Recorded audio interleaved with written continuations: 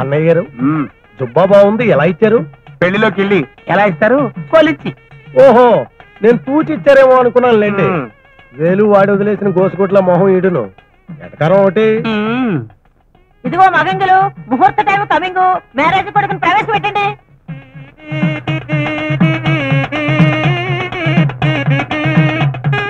ఎడం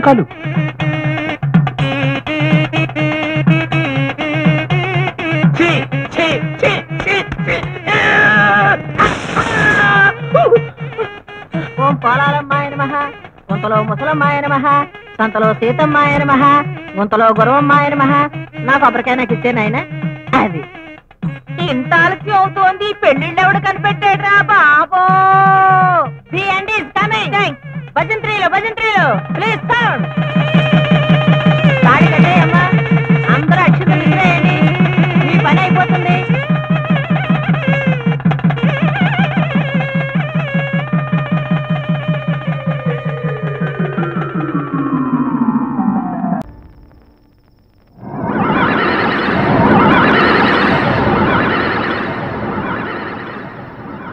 బామ్మగారు? బామ్మగారు? ఏంటి నర్స్? మరి ఎంత మోటు సరసం ఈ నర్స్ ఎవరు? బామ్మగారు. అందుకే డాక్టర్లు నర్సులతో పెట్టుకోకూడదు. ఏది కలో ఏది నిజమో తెలియదు. కలిసి బామ్మగారు. పెట్టుకుంటారు కానీ డాక్టర్ గారు బామ్మగారిని ఎంత పిలిచినా వినిపించుకోకుండా వెళ్ళిపోతున్నారు. ఇలాంటప్పుడు ఏం వినిపించదో ఏంటో? ఇప్పుడు ఎలా వెరీ గుడ్ వెళ్ళిపోతుంటే వెరీ గుడ్ అంటారేంటండి? మరి ఆవిడ అలా వెళ్ళిపోతేనే కదా నా ఇన్వెస్టిగేటివ్ ట్రీట్మెంట్ మొదలు పెట్టగలను. సరే పదండి. నీకెందుకమ్మా శ్రమ కాపలా కాసి కాసి అలిసిపోయావు. వెళ్ళి హాయిగా రెస్ట్ తీసుకో. నేను చూసుకుంటానుగా. వెళ్ళు. పడుకోమ్మా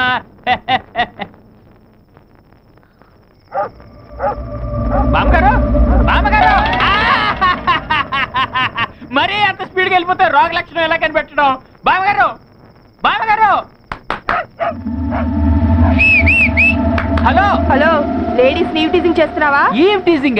ఆవిడ ముసల్దండి. అంటే ముసల్దాన్ని కూడా వదలవా? అబ్బా మీరు అపార్థం చేసుకుంటున్నారు. లేదు ఇప్పుడే అర్థం చేసుకుంటున్నావు నిన్ను. నేను ఒక రకమైన ట్రీట్మెంట్ ఇస్తున్నాను. ఆహా మేం కూడా ఒక రకమైన ట్రీట్మెంట్ ఇస్తాం. అబ్బా, అబ్బా. ప్రెసిడెంట్ గారు మన పంచాయతీ బోర్డు ప్రెసిడెంట్ పెంటయ్య లాగా. ఏంటబ్బా వింటున్నావా లేదా? చెప్పు ఈ రేగన్ గారు చాలా గొప్ప మడిసి మరి అంత గొప్ప మడిసి మనం కూర్చోమంటే కూర్చోలేడు నుంచోమంటే నుంచోలేడు. పోనీ ఒక గ్లాసు మజ్జిగో మంచినీళ్ళు తాగవయ్యా అంటే ఆ పని చేయలేడు ఎందువలన చేత ఎందువలన చేత ఇదిగో ఇలాంటి తప్పుడు కథలు చెప్తావు కాబట్టి ఊళ్ళో అంతా నేను తప్పుడు కథలు అప్పలాజు అంటుంటారు. అబ్బయ్య. నీకు సమాధానం తెలిస్తే చెప్పు లేకపోతే లేదు. అంతేగాని ఊళ్ళో అందరూ ఉన్నట్టు నన్ను నువ్వు కూడా. తప్పుడు కథలు అప్పలరాదు అనద్దు. సమాధానం చెప్పు శాలంజి because he doesn't know Telugu. ఆ? అదే నీకు ఇంగ్లీష్ ఎలా తెలియదో తనకు తెలుగు అలా రాదు. అందుకని నువ్వు తెలుగులో ఏం చెప్పినా అతనికి అర్థం కాదు. ఎట్ట కనిపెట్టేశావు అబ్బయ్యా రేగాను మనకి మంచి ఫ్రెండ్లే ఖర్చు డబ్బు లేకపోతే అప్పుడప్పుడు వచ్చి చిల్లర తీసుకెళ్తుంటాడు. అయితే అన్నోళ్ళ ప్రెసిడెంట్లు నీ దగ్గర సిల్లర్ ఎత్తికెడుతుంటారన్నమాట. సర్లే పోనీ.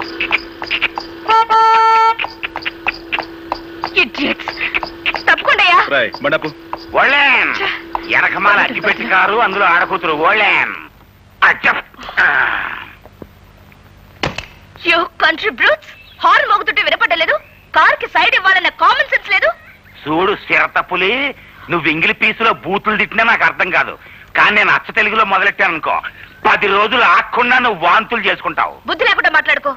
నా కార్ కంటే నీ బోడి గొర్రెబండి గొప్పదా? ముందటది అబ్బయ్యా ఇంక లాభం లేదు. నువ్వు సూపు చూడాల్సిందే. ఇత్తడి ఇత్తడైపోవాలి. ఇదిగో చూడు పాప నీకో విషయం తెలుసో తెలియదో రెండు కత్తులు ఒకే వరలో ఇమర్చవచ్చు రెండు పువ్వులు ఒకే చెవిలో పెట్టొచ్చు రెండు హార్మోనీ పెట్టెలు ఒకేసారి వాయించవచ్చు కానీ ఒక బండి మాత్రమే పట్టే ఈ ఇరుకు సందులో నీ బండికి సైడ్ ఇవ్వటం కుదరదన్న లోకల్ నాలెడ్జ్ నీకు లేకపోవటం నిజంగా నీ కర్మ.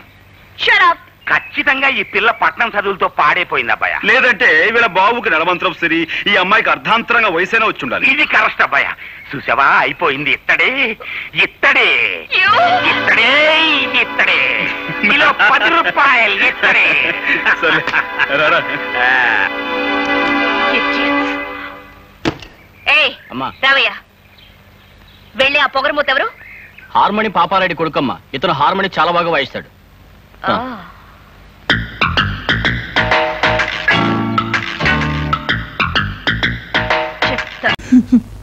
ఏంటి నెక్లెస్ పోయిందా? అవును సార్. మీకు యాభై వేలు తెచ్చివ్వాలని ఎంతో ప్రయత్నం చేశాను సార్. ప్రావిడెంట్ ఫండ్లోని పదివేలు వచ్చింది. ఇంట్లో సామాన్లు అమ్మితే పదివేలు వచ్చింది. మిగతా ముప్పై వేలు ఎక్కడి నుంచి సంపాదించాలో నాకు అర్థం కావట్లేదు సార్.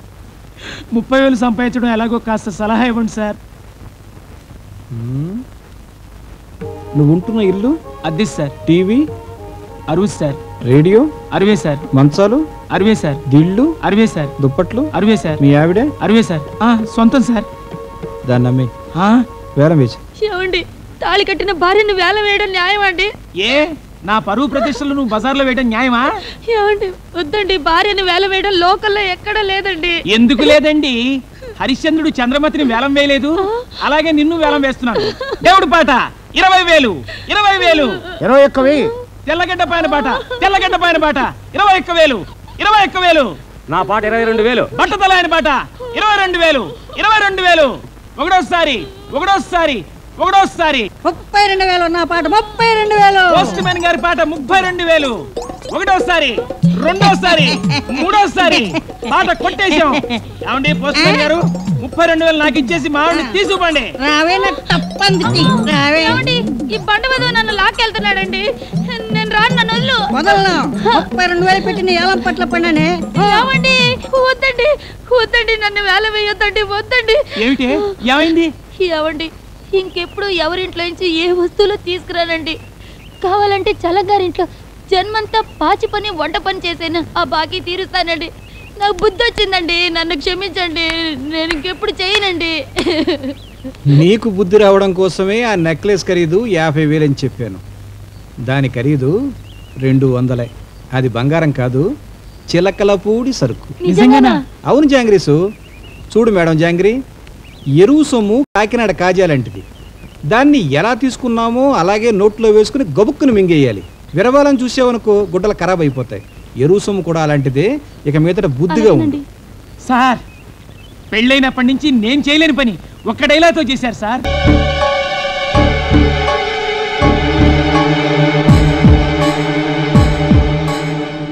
ఇవ్వడెవర్లు కదలకు. మెదలకు. కదిలావో చస్తావు. కదలకపోయినా చస్తాను. ఏంట్రా? అయ్యా రోజు ఈ తలకాయ మీద కొబ్బరికాయో బొప్పాయికాయో పేలిపోయేవి. ఈరోజు అరటిపండుకు అగ్గిపుల్ల గుచ్చారు. ఏమిటి నాకు ఈ అగ్నిపుల్ల పరీక్ష? స్టడీ. అయ్యా మీకు గాని సైట్ లేదు కదా? ఏయ్ హాయ్ నీ ముఖం చూసి ఒక నిర్ణయానికి వచ్చాను. గన్ తీసి గదిలో పెడతారా? కాదు. మరి? అగ్గిపుల్ల పక్క నుంచి గుండు పెలుస్తాను దాని నెరుపుకి అగ్గిపుల్ల వెలుగుతుంది. దానికి వెలుగు నాకు చీకటి. ఉడయవర్లు హాయ్ ఇది చాలా డేంజర్ ఆ. నా గుమస్తావన్న ప్రేమతో చెప్తున్నాను. ఎక్కడో గిల్లి జోలపాటం అంటే ఇదేనండి.